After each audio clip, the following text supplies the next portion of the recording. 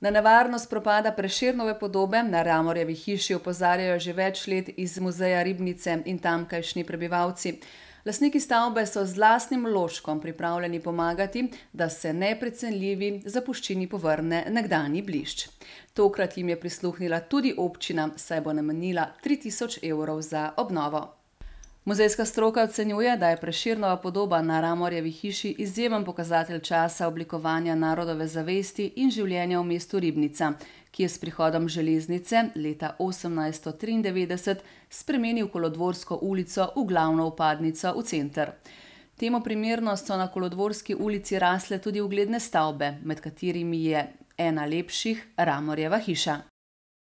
Kot, vidimo, a ne, je to prekrasna meščanska hiša, ki bi bila res ker je bila takrat, ko je bila zgrajena v okras ribniškega trga, konec koncev, ko je bila, odprta železniška postaja, ne, ko je prišel prvič vlak v Ribnico osemnajststo triindevetdeset, je Kolodvorska potem, potem ko se je začela dograjevati, postajala kot, kot ta glavna vpadnica in zato so tudi hiše na njej postajale tako lepe in krasne kot pač okras trga, veličastnega, starodavnega, ribniškega, ko si pač po Kolodvorski prišel v samo središče.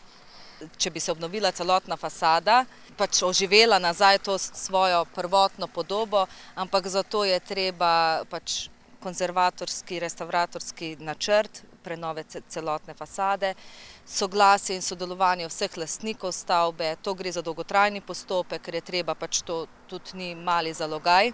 Zato pač v tej fazi se rešuje samo urgentno, detajl, ki pač je, najbolj ogrožen, da pač propade za vedno.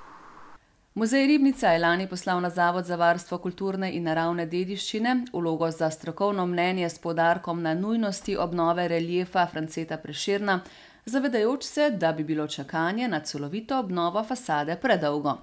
Več o obnovi reliefa nam je povedala Marina Gradišnik iz Muzeja Ribnica.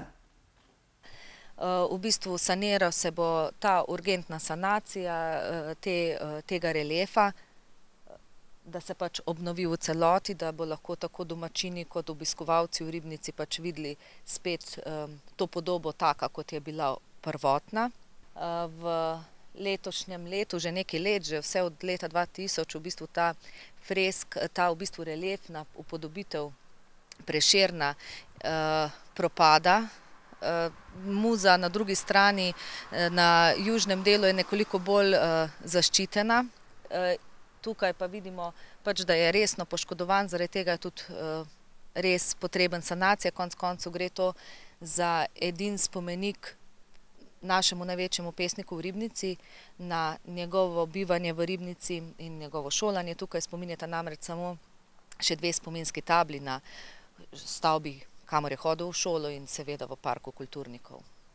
V Muzeju Ribnica opozarjajo pa tudi na fresko Franceta Miheliča na večstanovanjski stavbi na Kolodvorski ulici devet, ki je prvo Miheličevo javno delo, prepotrebno restavratorskega posega.